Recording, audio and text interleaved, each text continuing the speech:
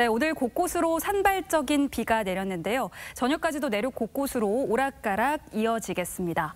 일요일인 내일도 전국 구름 많은 가운데 낮부터 저녁 사이 내륙과 산지를 중심으로 소나기가 내리겠는데요. 특히 돌풍과 천둥, 번개, 우박을 동반해서 요란하게 내리는 곳도 있겠습니다. 피해 없도록 유의하시기 바랍니다. 경기 내륙과 강원 내륙과 산지, 충청 이남 내륙과 제주 산지에 5에서 30mm가 예상됩니다.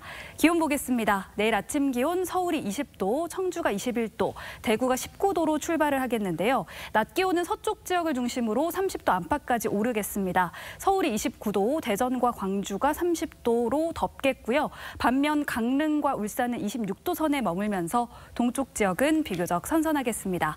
다가오는 월요일에는 서쪽 지역을 중심으로 소나기 소식이 들어있고요. 이맘때 더위가 이어지겠습니다. 날씨였습니다.